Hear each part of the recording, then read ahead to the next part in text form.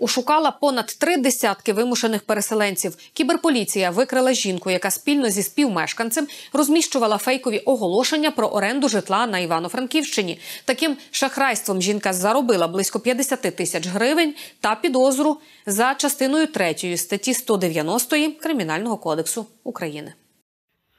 У зв'язку з початком обстрілів у Миколаєві ми були змушені шукати прихистку на західній частині України, а скористалися сайтом OLX для пошуку житла. Однією з умовою е, заселення було надання предоплати у кількості там 4 тисячі гривень та надіслання на картку. Надіслали жінці на картку, після чого перестала виходити на зв'язок. Ні житла, ні грошей, ні зв'язку не було.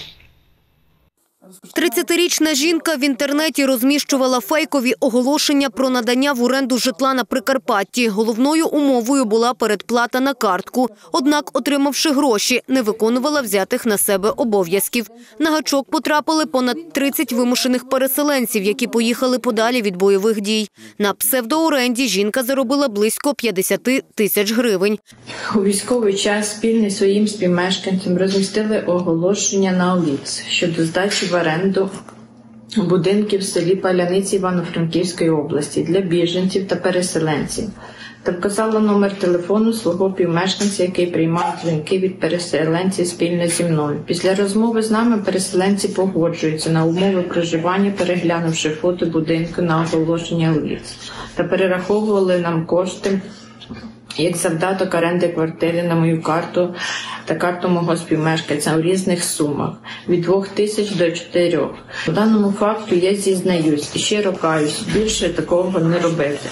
Протиправну діяльність викрили кіберполіцейські Івано-Франківської області спільно з працівниками Івано-Франківського районного управління поліції.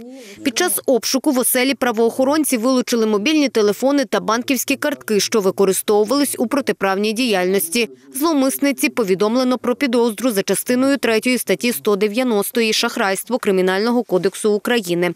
Санкція статті передбачає до 8 років позбавлення волі. Підозрюваній обрано запобіжний захід тримання під вартою. Також підозрювана до протиправної діяльності залучила свого співмешканця. Наразі вирішується питання щодо оголошення підозри спільнику.